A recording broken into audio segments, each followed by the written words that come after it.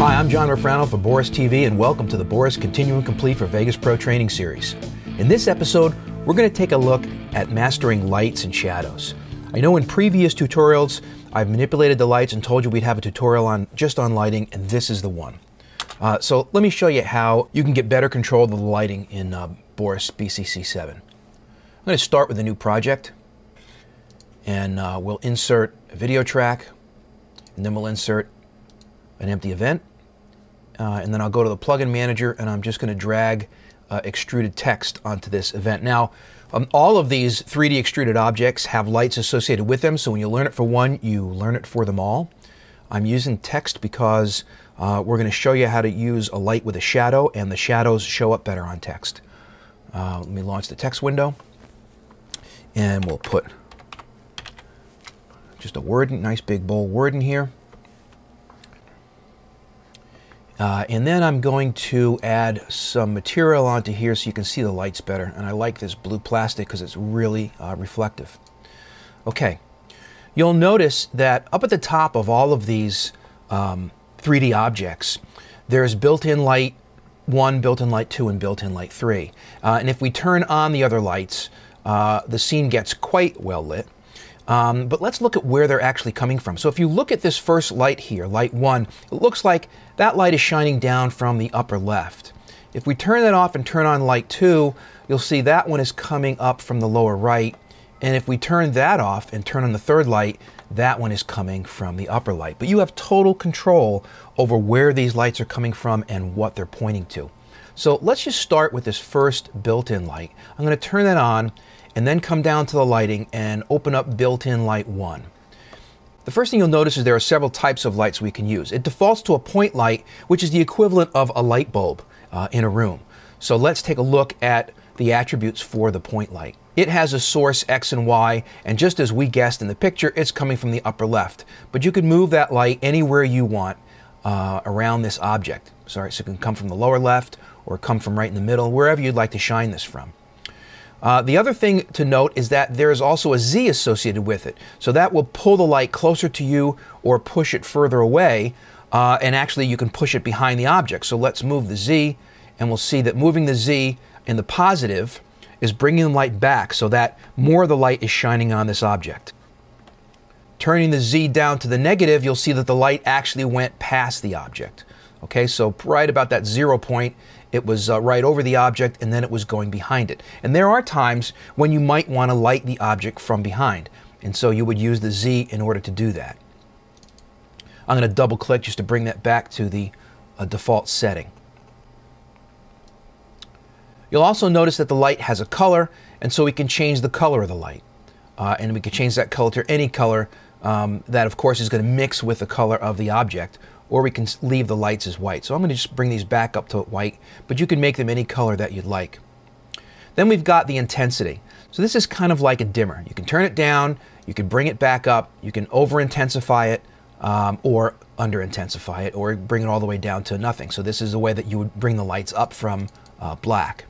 And then there's attenuation, which is kind of like putting scrims in front of lights, right? It's actually attenuating the light. At, at some level, it's blocking off the light. And you, you'll see that it's not just flatly fading. It's really attenuating it down to smaller and smaller until it until it goes away. So that's that that's the attenuation. Now some of these others are grayed out because they're for different types of lights. So let me go through the next type of light, which is the spotlight. Uh, the spotlight also has a source, and the source is kind of where that spotlight is hanging, not necessarily where it's pointing to. Where the spotlight is pointing is the target. So if we open up the target, you'll see that I can now change where this spotlight is pointing. It's pointing to the left, now it's pointing over to the right. And just like a real light, if the, if the light is located on the left and pointing left, it's going to have a smaller focal point than if I keep it on the left and move it over to the right, in which case it's really casting uh, a longer throw. And if I then move the light over, you'll see that the light again will change. So these, these operate just like real lights, just like you were putting real lights in a set. You want to do three-point lighting, you could set that up with these three lights. I'm going to move this to the middle so that we can show you uh, the next set of parameters. target Z, of course, would go back in space or closer to you as to where uh, this is targeted. When you get to a spotlight, you also have angle and fall off. And I'm going to set the fall off to zero in order to demonstrate the angle. So now that the fall off is zero, I've got a nice sharp edge on my light. And you can see that I can adjust the angle, you know, just like uh, opening and closing an, an aperture on, on, a light, on a real light. Um, I can focus the angle in a little closer, and then I can adjust the fall off at any point. So I can get a real nice pinpoint spot, or if I want hard edges, I could uh, turn the fall off down and get really hard edges on this light. So between the angle and the fall off are going to really control kind of the cone of light that hits your object. Now the next thing I want to show you is the spot with the shadow and that's only on this first built-in light do you get spot with the shadow and it's a little easier to see um, if I, let me, let me turn it off for a moment and go to transforms and I just want to rotate this text a bit and bring it closer to you. Uh, and when I say bring it closer, I really want to just scale it up. I really don't want to move it in space because I don't want to change the lighting. But I'm kind of focusing on this H here and I'm hoping uh, that if I position this light correctly, so let me take this source and I want to bring the source up above. And then I want to use spot and shadow. There you go. And you see the shadows. Look down here on the H.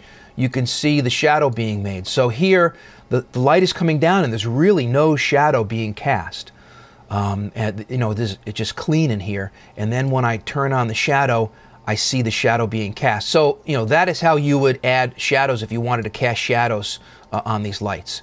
So let me go back to a point light uh, and let me reset this object uh, here. I want to uh, reset the rotation. Okay, and I just want to scale it back again. Okay, now I have the front of this object lit. I want to move my camera around to the back of the object. So let me go to the built-in camera. Uh, and let me use an orbit camera, and we have a whole tutorial on uh, cameras and how to control them. I'll use this orbit camera, and that will allow me to uh, spin around the object. And I'm just going to spin over to the back of the object, and you'll notice the back of the object is dark because the light is in front of it. Uh, so one of the things that I can do is I can turn on another light. I'll take built-in light 2, turn that on. Uh, I can then come down to the second light, and uh, that would be right in here, built-in light 2. Uh, and now I can start playing with the Z of this light to bring the light behind the object.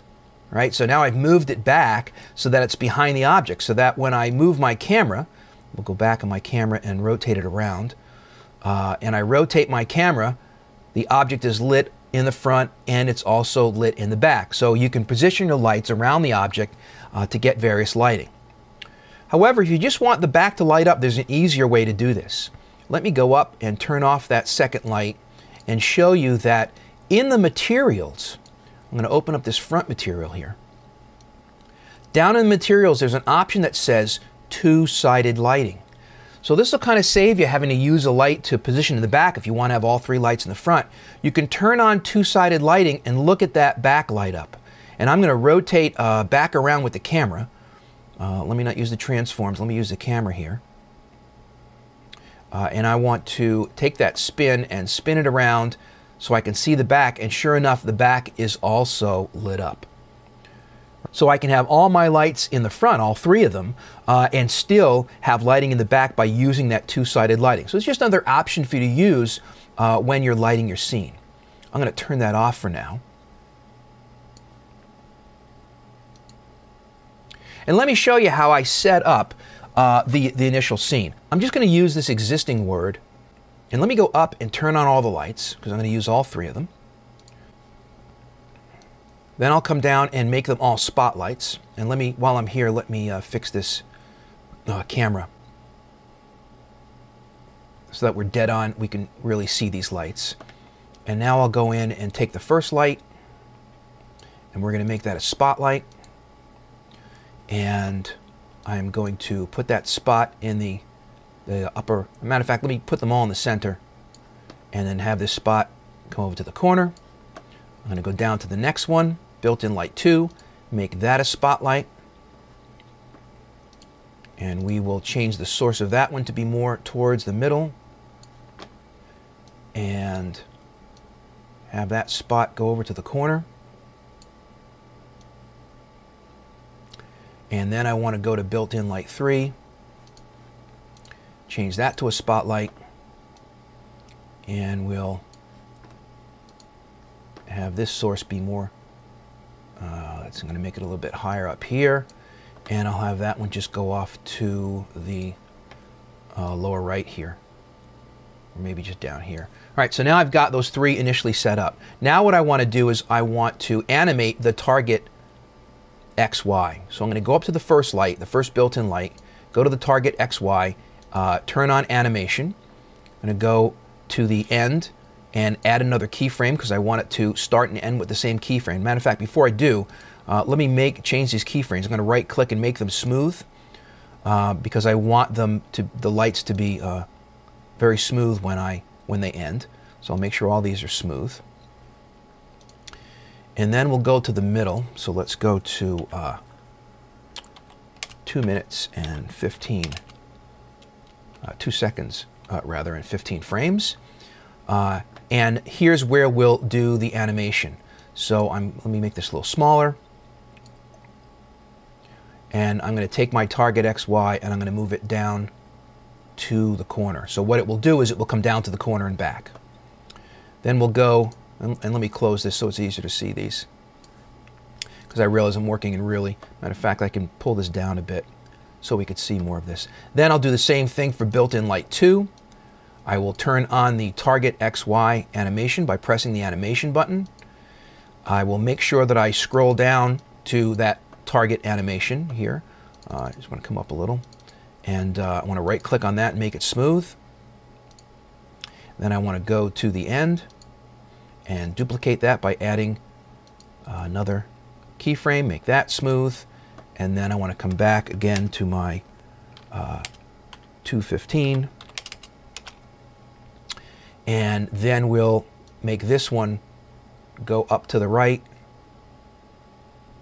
And so that one will be going up in uh, and let me let me open the angle here. Oh you know what's I'm wondering why I can't see this. And it's because I changed the uh, the source Z earlier in the tutorial.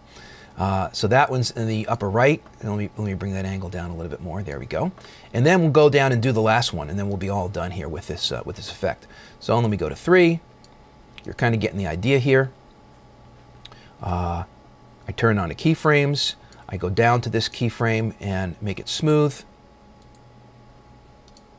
I'm going to go to the end, add another keyframe, make that smooth. I click on it, right click, smooth. Uh, and then we'll come again to the same spot in the middle, 2 seconds, 15 frames, and we'll move this one maybe uh, up in this direction here, just a little bit. Okay, now let's play that and see what we have. And there are the three lights converging and then going off to the center, uh, kind of in a Hollywood uh, movie style effect. So that wraps it up. Hopefully you now understand lighting a lot better. And if you need more information, drop by borisfx.com. This is John Rofrano for Boris TV. Until next time, thanks for watching.